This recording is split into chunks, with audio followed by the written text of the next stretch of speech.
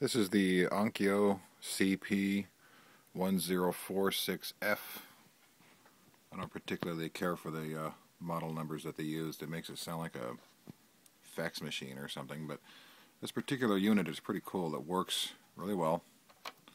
I got it all restored, meaning it's got new um, phono lube on the gears and all the mechanisms, cleaned up everything, got the um, stylus functioning properly. Anyway, you can see I already put a 33 on here uh, just so you can see how it works.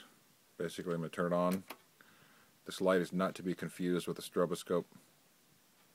This is actually the indicator that shows when the quartz lock mechanism is, uh, is uh, correct at the right speed. Right now it's on red, which is indicating power. Right now we're going to do the automatic feature by simply pressing start tone arm cues up and lowers down.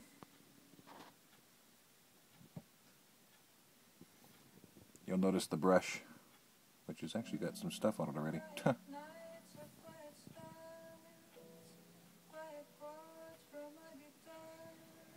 Sounds pretty good. Cue it.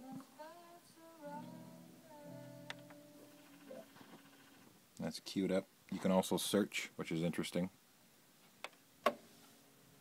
I'm going to go in one direction, you press it again, the other direction. You line it up with the the white line on the uh, for the guide. So I'm going right about there maybe. It's probably off. Yeah, it's way off. Well, anyway. Give you have an idea what you can do there. Was playing a 33 30 centimeter. This is where you set the size, size or speed. Then you have the repeat option, which works really well. I'll show the repeat option in action. What I'll do is I'll cue it to the end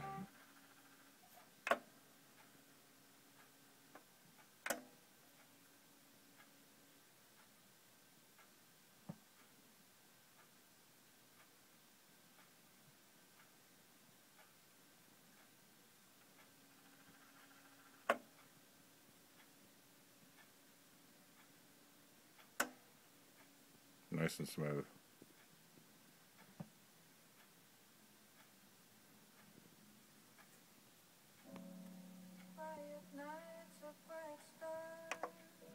It's got a two pound uh, aluminum platter. And of course, this has uh, the manual op operation as well. Wait for it to cue down. I'll go ahead and stop the, uh, there we go. So if you don't want to use the automatics, you can just take the finger lift, wait for the light to turn green so you know you got your proper speed, and then set it down. Let it rip. It's not the original uh, 45 adapter if anyone's wondering. You watch the other video, you'll see it playing a 45.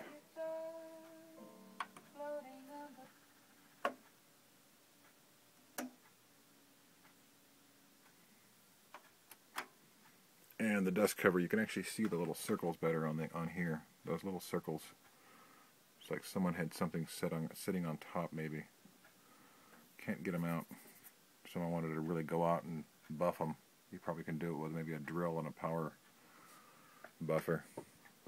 But that's the Onkyo CP1046F playing a 33